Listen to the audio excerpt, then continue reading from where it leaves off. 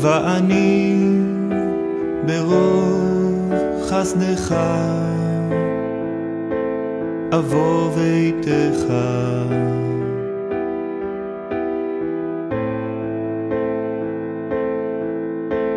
אשתחווה אל היכל קודשך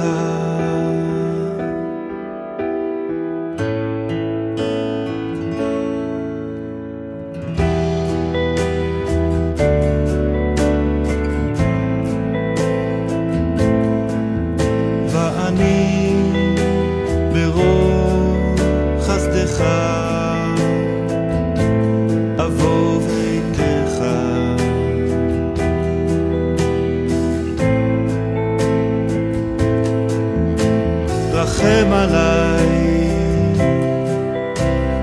אין עוד מלבדך.